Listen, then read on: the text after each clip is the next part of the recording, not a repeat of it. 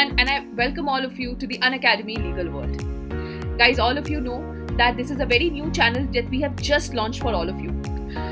We all know that as law aspirants, many of you face so many problems while giving the examination. बहुत सारे लोगों को Supreme Court High Court की जो recent judgements है उनमें उनको बहुत सारी प्रॉब्लम्स होती है मेरे इतने साल के करियर में in so many years of my career I have seen students struggle absolutely struggle with all the recent judgements of the supreme court and high court that is why we have brought forward with you in the Unacademy legal world. A way to simplify this.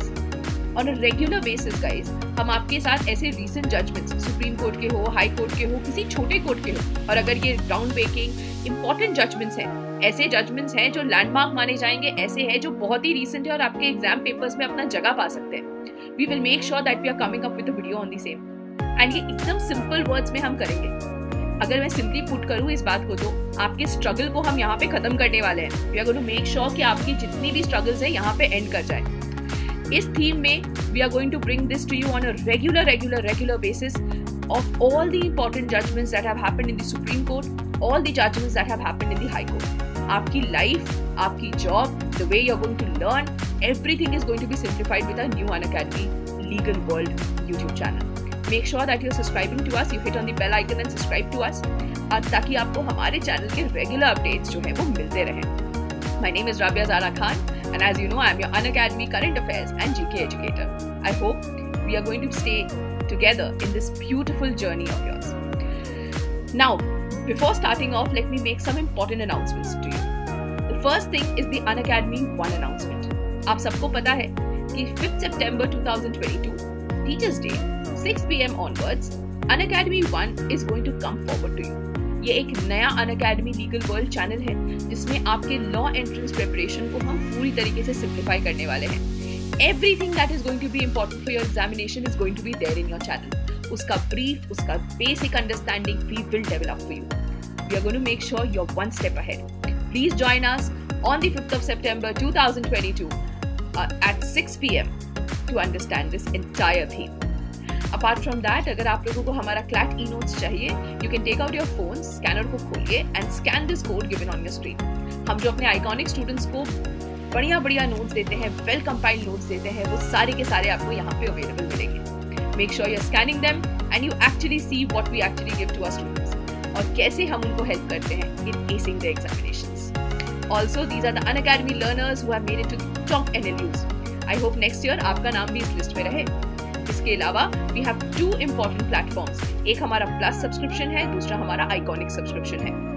The Plus subscription and the Iconic subscription both will ensure that you get India's best educators, you actually get daily live classes, numerous numerous number of live tests and quizzes and ये जो courses होते हैं ना वो proper तरीके से structured होते हैं आइकॉनिक आपको वन स्टेप अहेड लेके जाएगा it will help you in getting one to one life mentorship आपको डाउट सॉल्विंग में हेल्प करेगा and it will actually give you the option of raising your hand you will get a priority in the class over all the other students that you can see इसके अलावा these are the pricing plan that are there on your screen और अगर आपको अब कोई भी doubt आता है you can always call up the counsellors on the number given on your screen Remember, we are available to solve all your queries from Monday to Friday, 10 a.m. to 7 p.m. ये हमारा team है and they are very very very very happy to said, let us start off with the session for today.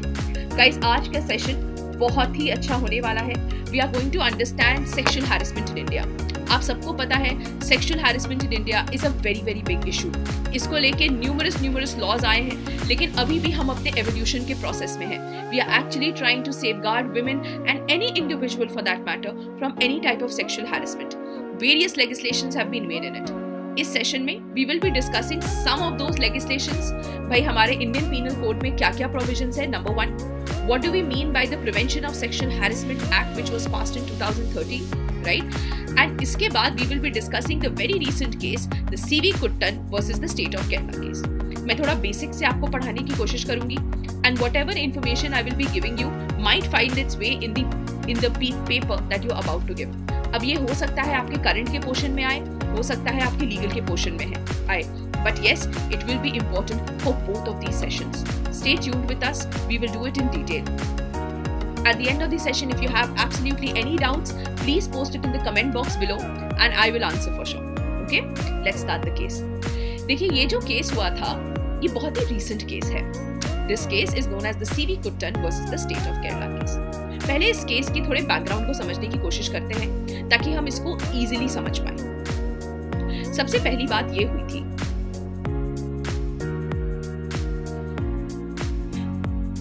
कि एक बुज़ुर्ग आदमी थे a 74 year old man uh, he was a writer very well known social activist and a very well writer this individual was a public figure अब फरवरी 2020 में इन public figure का इस लेडी के साथ द कंप्लेनेंट के साथ एक मुलाकात हुई थी एट अ पर्टिकुलर कॉन्फ्रेंस इस कॉन्फ्रेंस में the complainant has said that this individual had actually forced her to sit on his lap and he had pressed her breasts. This lady, while telling uh, the people about this, had said that this man, number one, has outraged her modesty, and number two, under section 354 of the Indian Penal Code, he has sexually harassed her.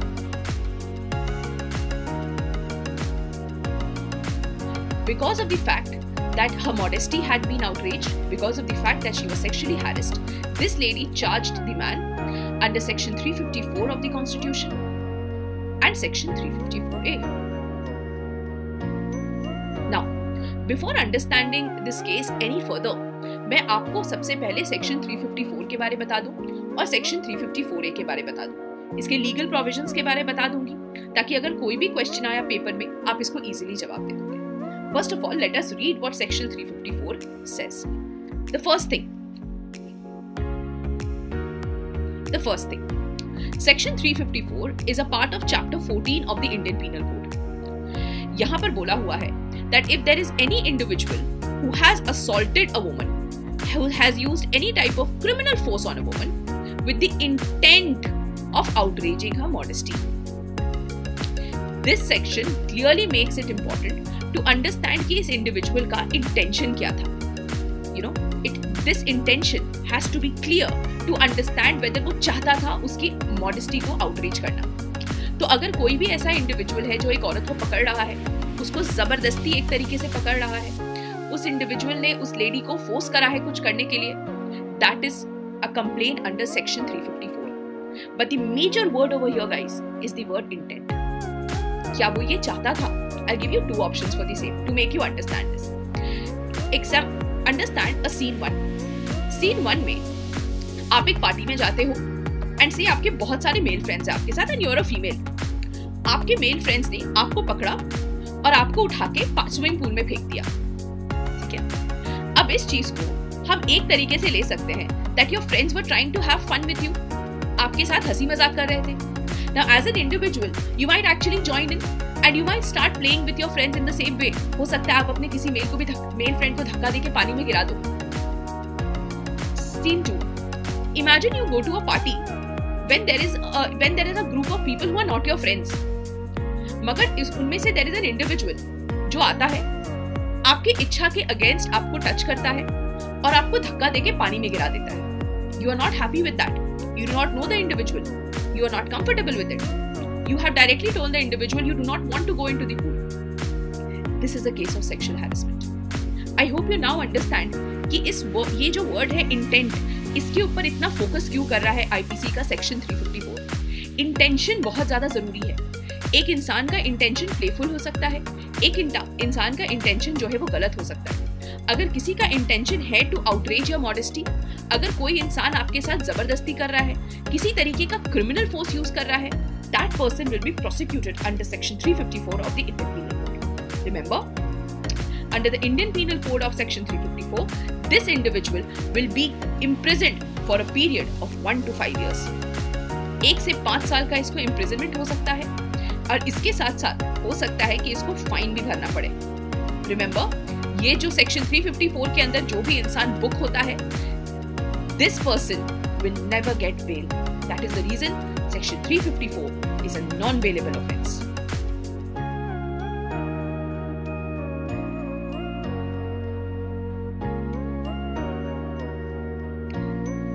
Next, we are going to move on to section 354A. Section 354A of the IPC Section 354A of the IPC is also a part of Chapter 16 and it talks about sexual harassment and the punishment for the same. Section 354 A बोलता है that if there is a man who has committed any of the following acts let's let's have a look at the acts number 1 physical contact and advances involving unwelcome and explicit sexual overtures अगर कोई इंसान आपके ना चाहते हुए भी आपको touch करता है for example you are moving and this person से touches your arm he touches your thigh he touches your body any part of your body and you feel unsafe because of it that is something that you talk about in section 354 अगर कोई इंसान आपको बोलता है कि ठीक है चलो I will give you a job but in return do me a favour if there is an individual जो आपके इच्छा के बिना against the of a woman is showing you pornography if there is any individual remark about you this person shall be guilty of the of sexual याद रखिएगा Under Section 354A of Sexual Harassment, for the first three, you can be imprisoned for a period of, of up to three years, आपको इसके साथ fine भी भरना पड़ेगा या आपको दोनों भी करा जा सकता है। Under the last one making a sexually correct remark you might be imprison for a period of one year with a fine or both in this case remember this offence is a bailable offence इसमें अगर court if the court deems fit you can be given a bail now let's come back to this article. Let's come back to this particular uh,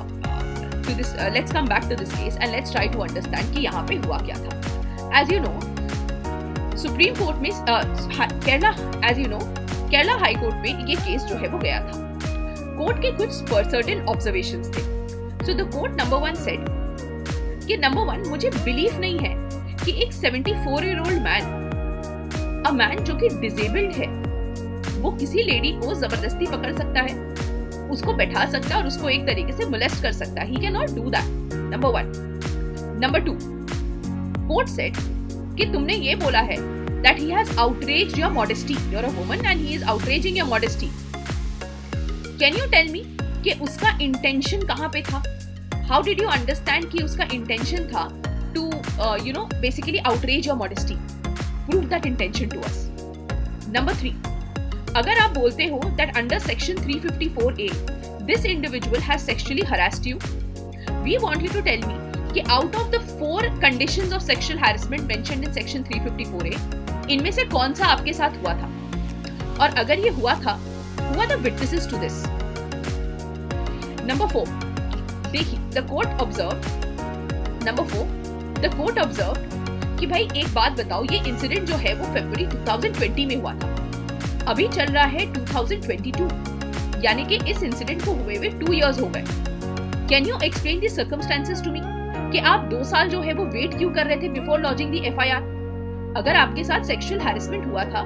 आपको ये चीज़ तुरंत जाके वहाँ पे बोलनी चाहिए थी कि हमारे साथ सेक्सुअल हैरेसमेंट हुआ था। What were you waiting for दो साल वेट करने के बाद आपने इस चीज़ को एक तरीके से बताया है। There are pros and cons of this case इस केस में बोला गया कि ये एक फॉल्स केस है। ऑब्वियसली जो प्रोसिक्यूट जो एडवोकेट थे अक्यूज के जो एडवोकेट्स थे, उन्होंने बोला कि this is a fabricated case एक तरीके से उनको, उनसे वेंजेंस लेने के लिए बनाया गया था। And obviously the cause of delay should be given by the prosecution इसके साथ साथ कोर्ट ने ये भी एक चीज़ ऑब्ज़र्व करा कि भाई, ये जो पिक्चर्स दिखाए गए हैं उनके बारे,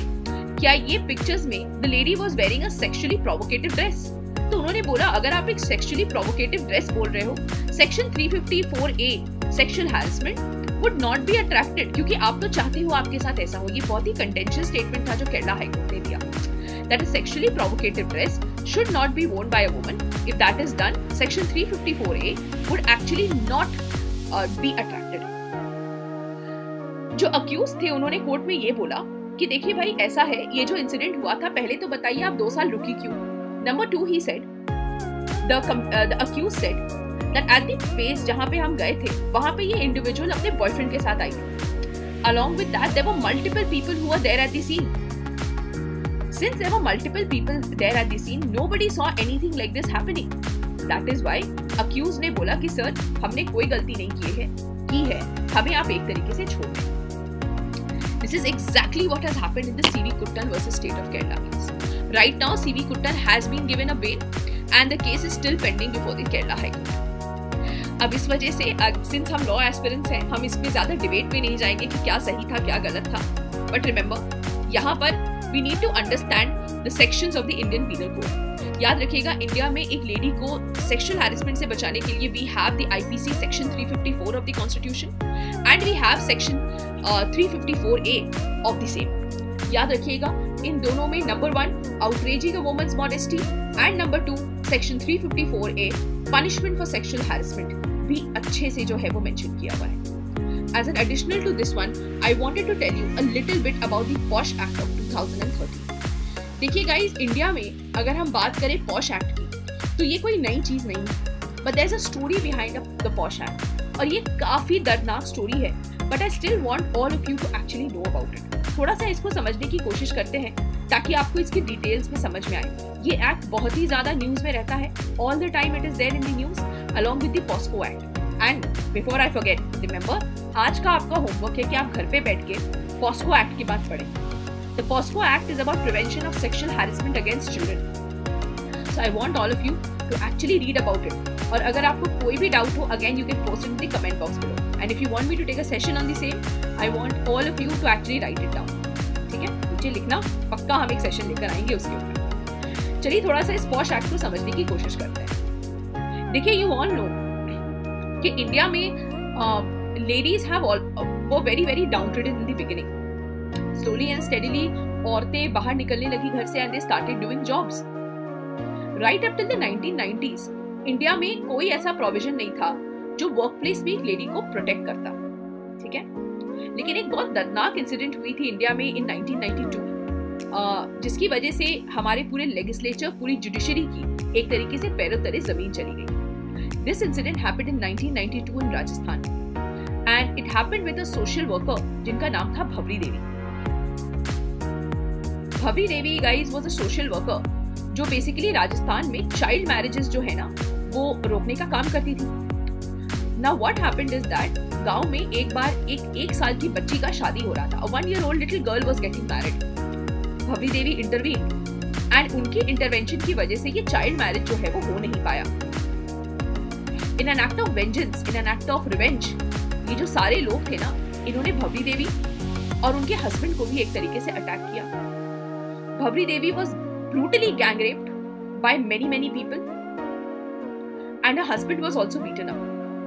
फिर उसी, वैसी, उसी अवस्था में भवरी देवी को जो है वो छोड़ दिया गया on the streets to die Bhanwari Devi ने इसके बाद एक वुमन वुमन राइट्स ग्रुप के पास वो गई थी। अ वुमन राइट्स एनजीओ था, जिसका नाम था विशाखा। ये जो वुमन राइट्स ग्रुप है Vishakha this actually went to court regarding this incident कि Bhanwari Devi was not doing anything wrong किसी के कस्टम्स में वो नहीं जा रही थी। She was just doing the job जो उनको गवर्नमेंट ने एक तरीके से दिया था। On basis of this case which happened in 1997, the Supreme Court said that protecting a woman now in her workplace is very very important. That is why, guys, in 1997, the Vishaka guidelines were passed by the were laid down by the Supreme Court in a landmark judgment. इस judgment में उन्होंने बोला कि भाई number one ये जो judgement है वो लीगली बाइंडिंग है it completely defined what is sexual harassment और उन्होंने डायरेक्टली ये बोला कि अगर कोई भी इंडिविजुअल एक लेडी को हायर कर रहा है that person has to make sure कि उसके खिलाफ कोई सेक्सुअल हैरेसमेंट नहीं हो अगर होने वाला है तो उसको रोके और अगर हो गया है उसको एक तरीके से रिड्रेस करें। उन्होंने डायरेक्टली बोला था that at every work place there has to be a complaints committee and the complaints committee will be tasked with the job the complaints committee will be tasked with the job actually looking after, of actually looking after the lady who has been abused.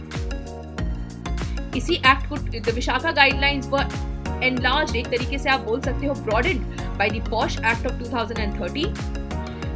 And this, the full form of this act is the Sexual Harassment of Women at Workplace Act, Prevention, Prohibition and Redressal. It was passed in 2013 और इसने directly ये बोला था कि किस तरीके से process होगा कंप्लेन का how the inquiry needs to be done and what action needs to be taken the Vishakha guidelines were hence broadened as I told you which were already in place I hope यहाँ तक आपको ये detail समझ में आ रहा है the POSH guidelines is one of the most important guidelines to protect women uh, and any type of woman in India against sexual harassment. Let us try to understand this in great detail. सबसे पहले POSH act के क्या क्या features हैं इसको समझने की कोशिश करते हैं पॉश एक्ट नंबर वन कहता है that there needs to be a procedure whenever a person has been aggrieved there has to be a proper process जिससे ये इंक्वायरी जो है वो की जाए सबसे पहले समझते हैं कि ये प्रोसीडियर जो है वो कैसा हो ना imagine there is a lady जिनके साथ सेक्सुअल हैरेसमेंट हुआ है this lady has two option this lady can simply go to what we call the internal complaints committee as I told you internal complaints committee एक office की वो part होगी जो office में स्पेशलाइज करेगी to look into sexual harassment cases the internal complaints committee will have to be made in any organisation according to the POSH act जहाँ पे 10 से ज़्यादा एम्प्लॉइज हो। जहाँ पे भी 10 से ज़्यादा एम्प्लॉइज होंगे, वहाँ पे हमारी इंटरनल कंप्लेंट्स कमेटी जो है वो बनाई गई होगी। इंटरनल कंप्लेंट्स कमेटी के पास कंप्लेन आने के बाद दो ऑप्शंस हैं। Number one the internal complaints committee can directly refer it to the police police अब इसकी कार्रवाई करेगी and they will take appropriate steps remember the internal complaints committee has all the powers of a civil court guys POSH act इसको एक civil court का option देती है। मतलब ये लोगों को अंडर ओथ क्वेश्चन कर सकती है। It can take certain important decision for example kicking the person out of the job उसके सैलरी का एक पार्ट ले लेना। दोनों के बीच एक तरीके से कंसिलिएशन करना। दोनों को एक तरीके से सेम टेबल पे लाके बैठाना। कॉम्पेंसेट करना उस लेडी को जिसके साथ यू नो ये सेक्शुअल क्राइम हुआ है। ना the internal complaints committee also has a process to follow ये जो प्रोसेस है, वो ministry of women and child development का एक हैंडबुक निकला था। जिस हैंडबुक में इसको बहुत डिटेल में मेंशन करा गया था। ठीक है? अच्छा आप देखिए इसमें वो क्या कर सकते हैं। The internal complaints committee has a time of 90 days within a period of 90 days इस बॉडी को अपनी इन्वेस्टिगेशन करनी है। एंड इस इन्वेस्टिगेशन का उन्हें apparently within another 10 days एक रिपोर्ट बनाना है। A report has to be made ये रिपोर्ट जो है, वो एम्प्लॉयर के पास जाएगा मतलब कंपनी हेड के पास जाएगा। And it will have all the recommendations that the internal complaint committee has this report will be made available to the accused to the uh, and to the victim या complainant as you can call it इन दोनों के पास ही report जाएगा victim अगर by the way ये victim के हित में हुआ तो एम्प्लॉयर जो चाहे वो कर सकता है can uh, turn over the accused to the police number one he can actually take any appropriate action that he deems fit he can take a part of his salary as well deduct a part of his salary and actually throw him out as well मतलब जो चाहे वो कर सकता है उस point पे accused के साथ simple terms the victim on the other hand uh, the victim on the other hand will have the option of either accepting the uh, accepting the report of the internal complaints committee. अगर वो नहीं उनको लगता है कि वो सही नहीं है this lady always have the option of appealing in a court मतलब आप अगर आपके लिए सही लगा तो ठीक अगर आपको सही नहीं लगा तो आप इसको हटा सकते हो। अब पॉश एक्ट ने डायरेक्टली यहाँ पे प्रोसीडियर जो है वो मेंशन कर दिया। प्रोसीडियर के बाद the POSH act also tells कि भाई इस इस तरह की चीज़ को how the company how the internal complaints committee is actually going to deal with it तो नंबर टू वो ये बोलती है कि भाई अगर बाय द वे इमेजिन करो we have found this person guilty